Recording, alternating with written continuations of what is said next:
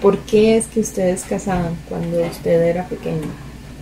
Bueno, se casaba mm, mm, por, la, por la necesidad, por la escasez de alimentos o por la pobreza, la, porque el vivir en el campo requiere de, muchas, de una forma de vida muy diferente.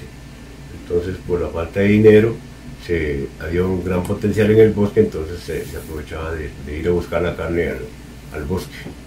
Eh, era un gran potencial de, de comida para toda la familia, porque eran familias numerosas, entonces había que darle comida a, todos. Entonces, mi papá em, era el que me, me, eso de ir al bosque a, conseguir la comida, no solamente la cacería, sino cortar algunas palmas que eran buenas para comer, algunas, eh, algunos otros animales, eh, pero siempre aprovechándolo a lo máximo. Un animal que se mataba era para aprovecharlo a lo máximo. Nunca se mataba por, por diversión o por, por matarlo, no, sino que siempre aprovechándolo a lo máximo. Pero eso ahora ha cambiado, ya la mayoría de personas que lo hacen, la casa no es por una necesidad.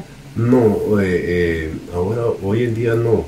Eh, a veces a uno hasta, hasta rabia le da, como dice, de ver a algunos, algunos de, esos grandes ricachones de la, de la ciudad, que uno a veces los ha visitado en la casa y tienen las cabezas de venados o de tigres o de esto o del otro en su casa, disecadas ahí, del deporte que, han tenido en su vida.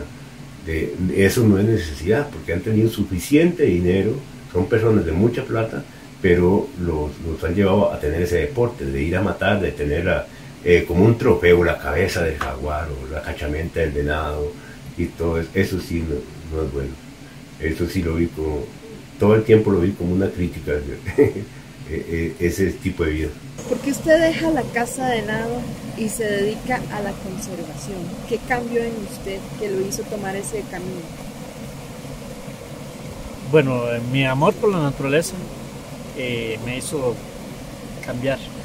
Digamos, las circunstancias del tiempo, eh, fui viendo eh, que lo que estábamos haciendo estaba mal hecho y que teníamos que recompensar con el resto de la vida que, que tenemos aquí en esta tierra. Entonces es como una manera de recompensar el daño que, que hice anteriormente. Cuando usted cazaba a un animal, ¿qué le generaba?